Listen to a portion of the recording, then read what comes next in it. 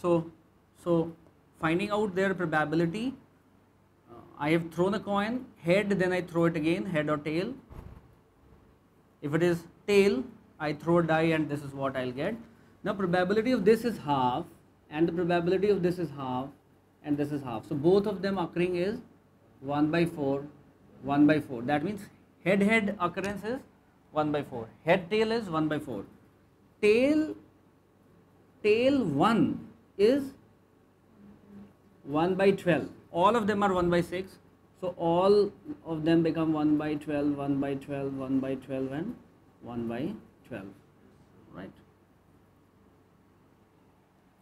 Now what? So, so we know the sample space. Do we need to write it? Okay, fine. The sample space is HH, HH, HT, what else? T1, T2, T3, T4, T5, T6. Okay? And what has happened?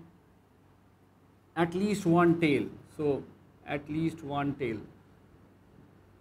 F is at least one tail.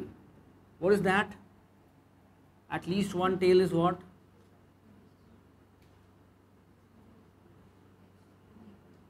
HT, T1, T2, T3, T4, T5, T6.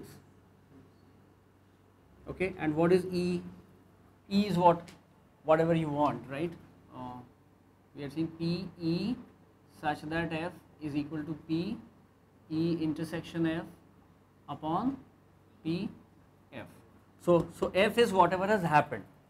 Okay, so so that is that and shows a number greater than 4. So E is E is probability of getting a number greater than 4 such that something has happened. What has happened is a number greater than 4. So probability of getting a that the die shows a number greater than 4. E is greater than 4. So so what is that? A number greater than 4 is uh, greater than 4 is T5 and T6. T5 and T6. So E intersection F is what?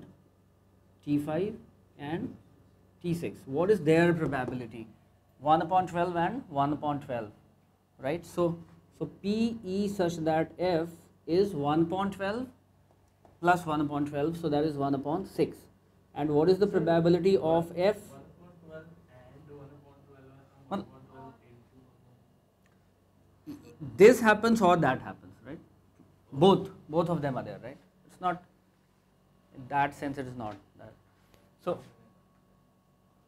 probability of this happening is 1 by 12, this happening is 1 by 12. So, what is PF? So, here you have half, they sum to half, right? 1 by 12 into 6 is half and plus 1 by 4. So, that is 3 by 4. Okay. So, that is 3 by 4.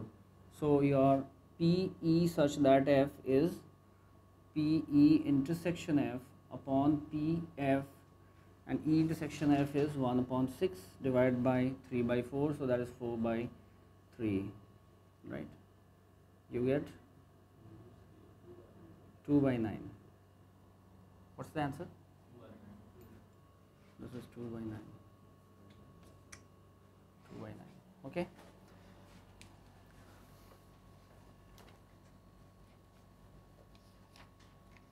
multiplication theorem on probability